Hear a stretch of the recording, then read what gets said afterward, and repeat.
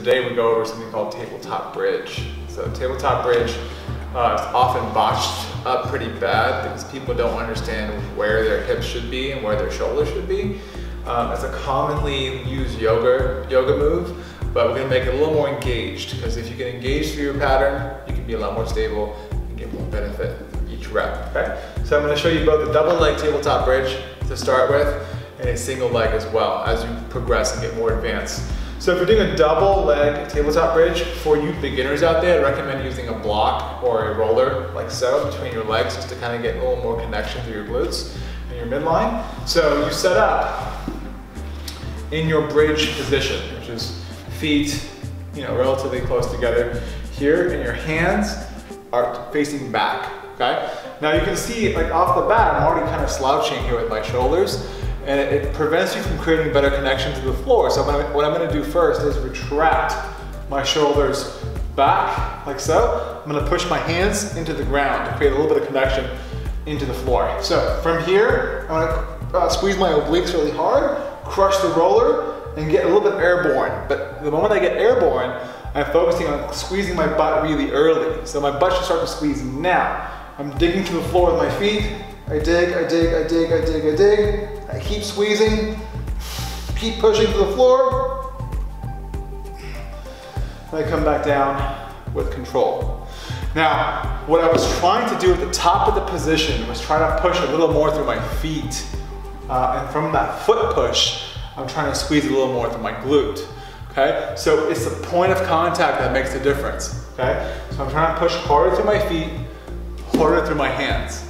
Okay, I'm gonna show that to you again so you can understand what's happening. So I'm here, first points of contact, hand to help me push back, feet to engage my glute, okay? So create the connection all at the same time, and that's how I lift. Now I get to my top, where I feel like this is all I have left to go. No, you don't. Push a little harder with your feet, squeeze your butt, push a little harder with your hands. That's my true end range. If I really focus on pushing and squeezing properly, I can get a few inches higher with the right engagement, namely your glutes, your hamstrings, and your middle back. You will feel like a big pull throughout your pec and your uh, bicep tendon a little bit, that's normal. And you will feel like your chest is opening up quite significantly as well. If you, all you feel is like tweakiness, you're probably not pushing hard enough with your feet, you're probably not engaging hard enough with your abs, you're not feeling your hamstrings, okay? So always be mindful of how you start the position. How you start dictates how you finish. So, single leg now. It's a little more trickier, but you set up one leg down. Opposite leg, I'd recommend pulling it up to your chest and not letting it sink.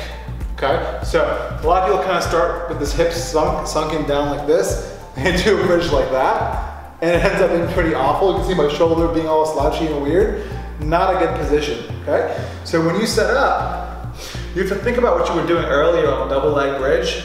You were trying to be stable and even, right? So you have to create that by pulling this tight and then starting to lift. So if I'm here, shoulder blades, pull, squeeze, squeeze, squeeze, squeeze, squeeze. I come back down with control.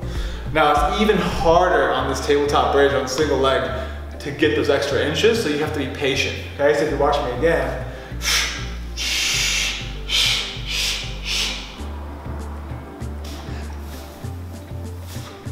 I was really patient at the top, waiting to see how much more push I can create with my foot, okay? If you're not patient, you'll just kind of like be, you know, in the same range of motion every time. You wanna improve how well your hip can extend at the top. So that's how you do tabletop bridges. Um, those are two versions you can play with. Start with the double leg first. Don't get too, you know, too antsy about starting the new one, the progressed version. Double leg first for a while when you get better, then go to single leg. Okay, so have this also supersetted between your workouts as a warm up at the daily mobility exercise as well.